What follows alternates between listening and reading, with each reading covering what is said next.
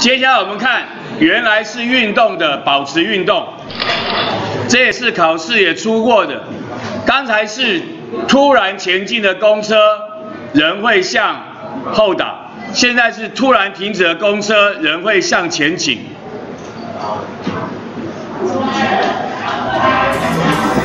现在我们来探索何谓惯性。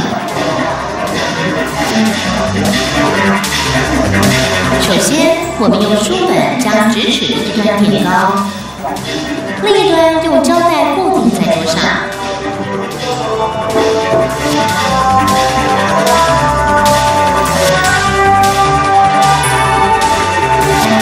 将粘土捏成的小雪人轻放在玩具车的车顶上，再将玩具车置于直尺较高的一端，将玩具车释放。当玩具车撞到底后，会发现小雪人继续前进而飞离车子。由以上的探索活动显示，运动中的物体如果不受外力作用或所受外力的合力为零时，则会保持原来的运动状态，成为惯性。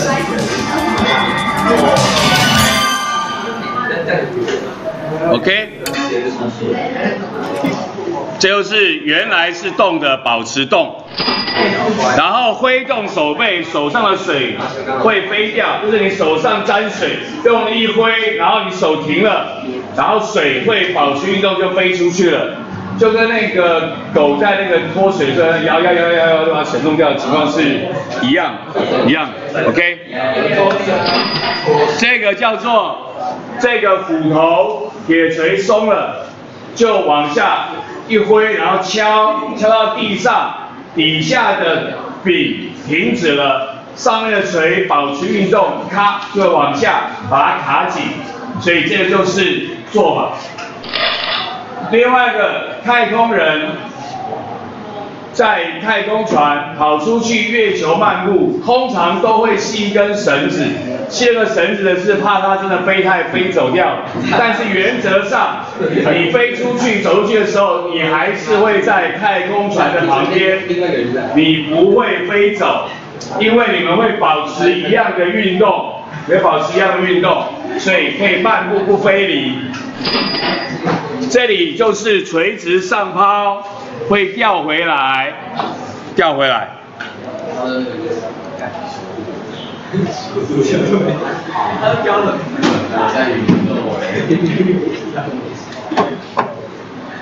我哋有呢個裝置咗彈弓嘅垂直發射台，上次放咗一度加波，加波彈跳之後就會垂直跌翻落嚟，用個圓筒套住佢先，個加波跌落之後就會成為一。跳回來就不動嘛，很正常。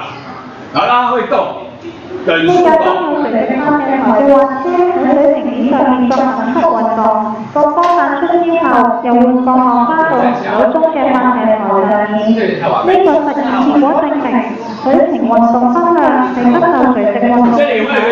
當架車沿斜面滑下，個波就會隨住水平面嘅方向彈出，跟住喺跑道下方台嘅周圍收翻。實驗結果證明呢平嘅運動同埋垂直於斜面嘅運動係不等速，對不對？啊，那你就覺得好正常。那往下要原地越掉越快啊，那為什麼會落回原地？